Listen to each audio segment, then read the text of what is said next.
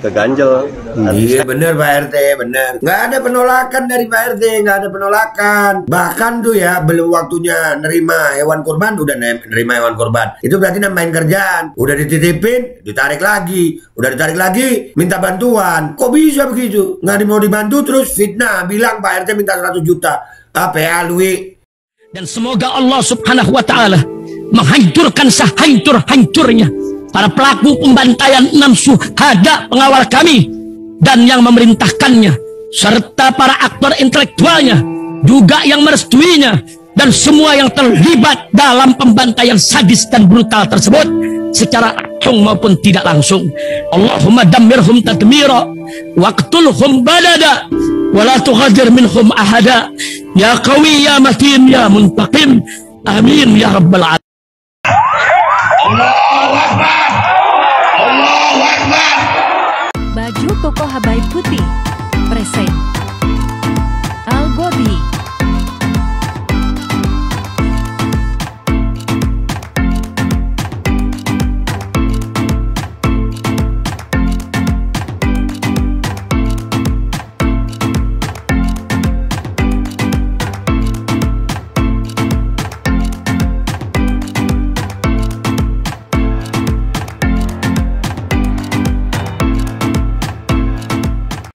Assalamualaikum warahmatullahi wabarakatuh Welcome back, selamat datang lagi di channel Babe Aldo Bersama gua Babe Aldo, youtuber rakyat biasa Yang tetap santai dan sehat Dan jangan lupa ngopi, bismillahirrahmanirrahim Ah, Alhamdulillah Rabbil Alamin Wassalatu wassalamu ala sayyidil mursalin Sayyidina Muhammad wa ala alihi wa ajma'in Rabbi surah li sadri wa yassir li amri wa lalu lugdatan min lisani yafqahu qawli bi nabi wa ali. Salam revolusi akhlak, semangat revolusi akhlak. Semoga akhlak kita jadi lebih baik hari ini dibanding kemarin. Panjang umur, perjuangan merdeka. Allahu Akbar. Salam sejahtera bagi seluruh rakyat Indonesia di mana pun kalian berada. Semoga kalian semuanya dalam keadaan sehat walafiat.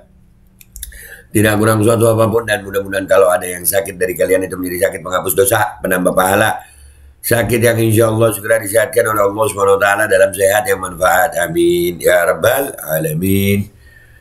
Oke guys, sebelum masuk ke konten seperti biasa jangan lupa nih menghargai itu untuk perbedaan, bukan untuk penyimpangan. You LGBT. Nah, gitu ya. Hah, langsung dicek di deskripsi video untuk merchandise Babe Aldo Shop ya di Tokopedia. Langsung dicek aja guys. Oke guys, sekarang kita masuk ke konten ya peristiwa Dewi Persik kemarin ternyata memang ada something kayaknya guys ya. Ya ada yang bilang Dewi Persik ini kan pendukung salah satu calon presiden ya, bakal calon presiden ya. Iya, iya. Makanya gue tuh paling males, males deh kalau udah politis-politis gitu.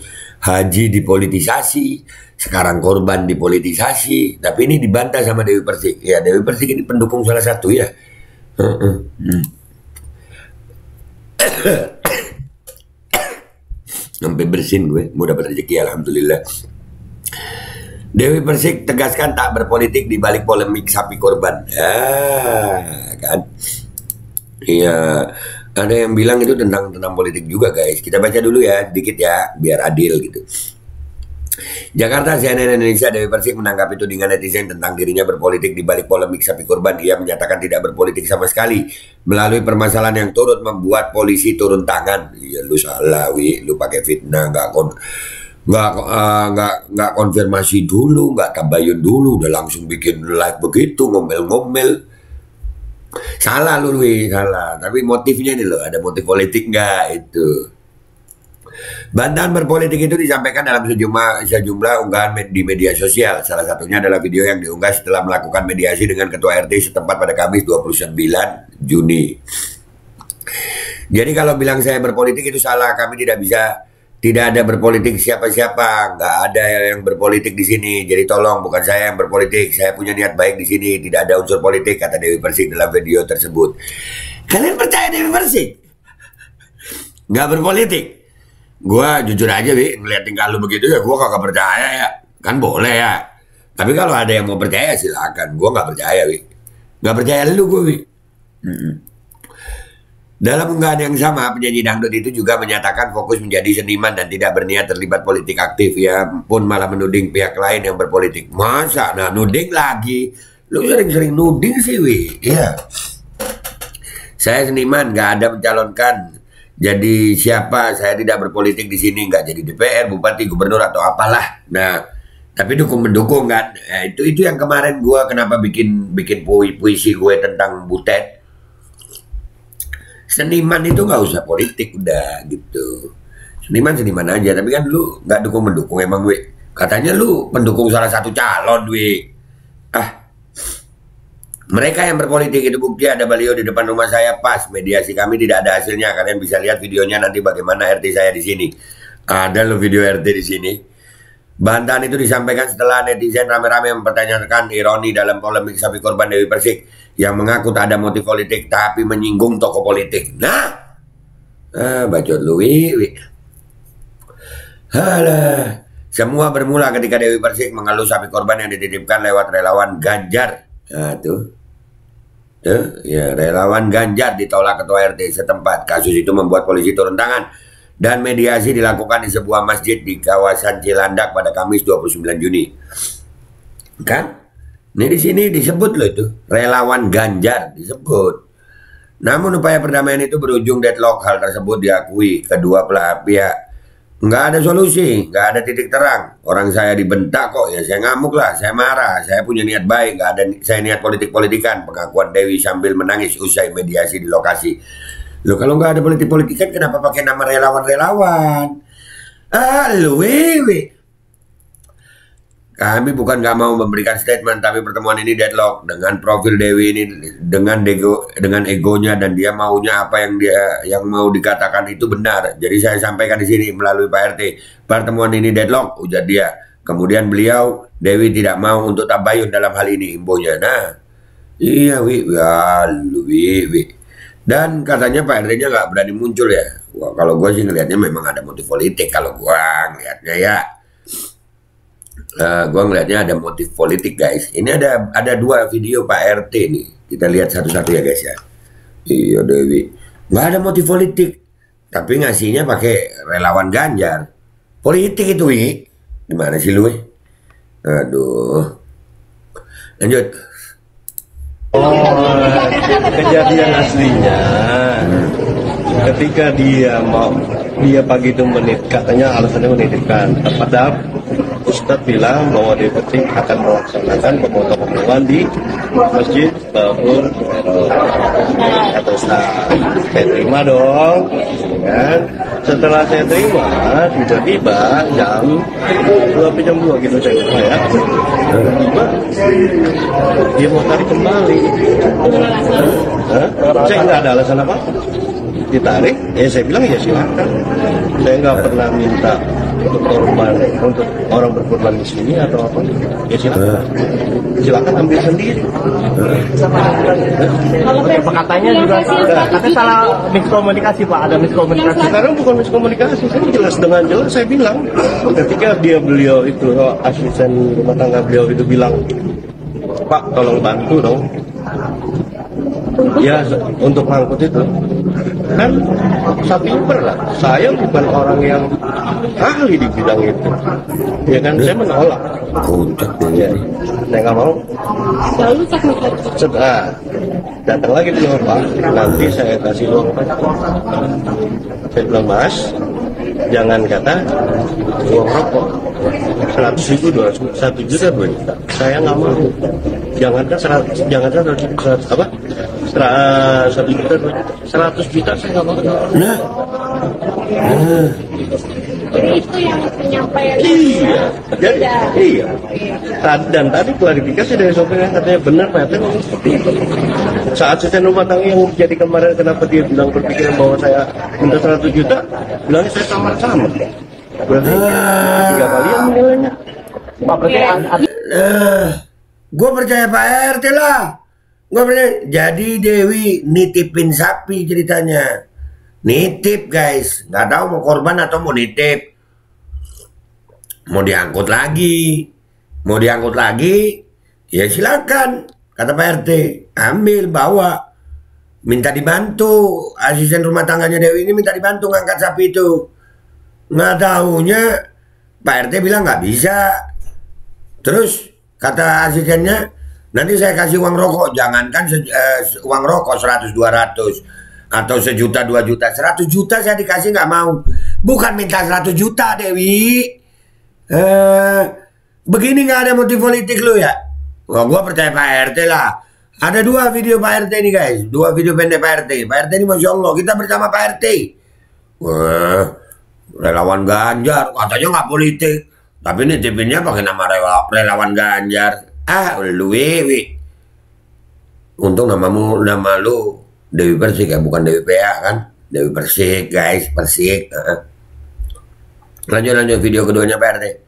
Ah. Apa itu bentuk penolakan namanya? Coba dari kalian lah. Kalau dibilang itu penolakan dari jam 4 eh dari jam 10 pagi sampai jam 4 sore ada di sini penolakan. Ketika diambil Gimana? silakan ambil. Yang jadi masalah mungkin dia karena kita nggak mau bantu. Ya ngapain kita bantu? Orang lu udah ngecapein gua. Iya. Waktu yang seharusnya belum kita terima hewan kurban kita harus terima harusnya belum persiapan kita jadi mempersiapkan buru-buru Bener. tiba-tiba udah kayak gitu diambil lagi kita tanya saya tanya dah yang semua kecewa nggak kalau saya kecewa nggak cuma ada sedikit keganjel Iya bener Pak RT, bener. Nggak ada penolakan dari Pak RT, nggak ada penolakan. Bahkan tuh ya belum waktunya nerima hewan kurban, udah ne- nerima hewan kurban. Itu berarti nambahin kerjaan. Udah dititipin, ditarik lagi. Udah ditarik lagi, minta bantuan. Kok bisa begitu? Nggak mau dibantu terus fitnah, bilang Pak RT minta 100 juta.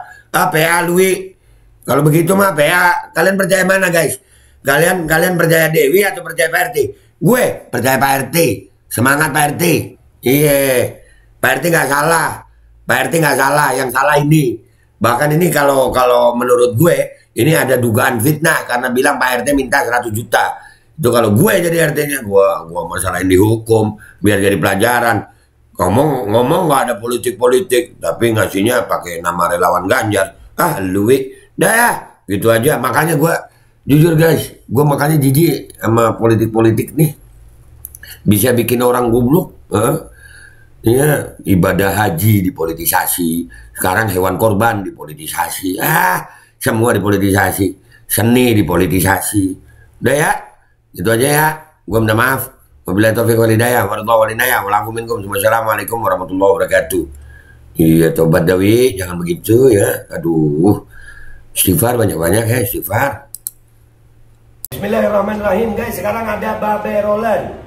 Babe roti molen. Roti ini dibuat yang pasti rasanya enak ya, ada tiga rasa. Nih, ada pisang keju, ada tape keju, ada pisang coklat. Ini dibuat tanpa bahan pengawet dan bil- melayani pesanan-pesanan kalian yang seputaran Jabodetabek bisa buat nemenin ngopi, buat acara-acara boleh. Dan ini karena gue paling suka pisang keju, nih gue dulu yang nyoba nih. Nih dia tuh kayak crunchy-crunchy gitu depannya tuh. No. Oh. Hmm. Oh tahu. Kerannya di depan nih, terus dalamnya empuk. Hmm, ya Allah. Udah nggak usah lama-lama lu. Kalau kepingin langsung pesen aja itu ada nomor WA-nya nanti gua kalau cantumin ada juga IG-nya langsung pesen langsung pesen. Murah segini cuman nanti dia tanya itu 35 ribu kalau nggak salah. Ya? Hmm.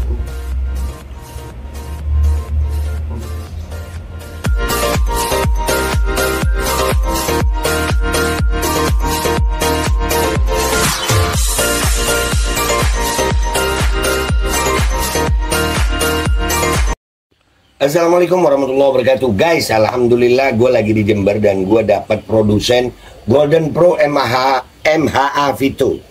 Ini guys, bahan-bahannya itu di dalamnya ada jintan hitam, ada broto wali, ada sambiloto, ada jahe, pegagan, ada madu hitam, ada propolis dan probiotik.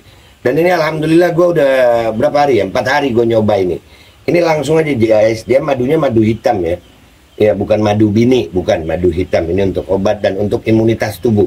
Alhamdulillah kemarin gue badan-badan gak enak, gue pakai sehari tiga kali nih produk. Cuman ditetesin di bawah lidah kayak begini. Jangan lupa Bismillah tapi Bismillah sama sholawat. Allahumma sholli ala Sayyidina Muhammad dan Sayyidina Muhammad.